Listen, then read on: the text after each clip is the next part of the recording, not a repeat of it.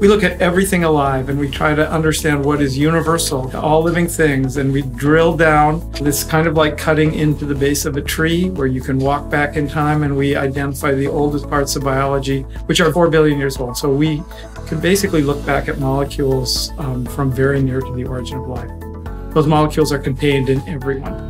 In the area of chemical evolution, I have been working to design systems that can show how molecules can evolve and how they might have evolved on the early Earth.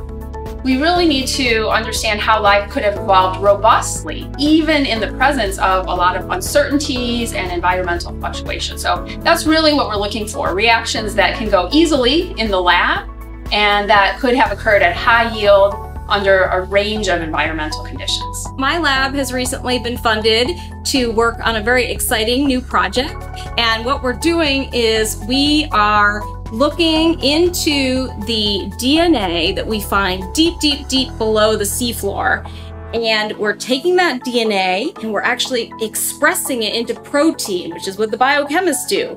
But we're taking DNA that's never been studied before, genes that have never been studied in the lab before.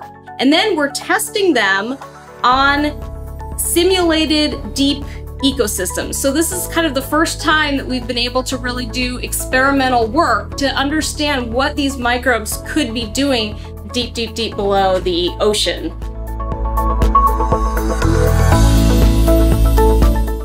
So this condition is, to give you the full acronym, it's called Space Flight Associated Neuroocular Syndrome, but we just call it SANS.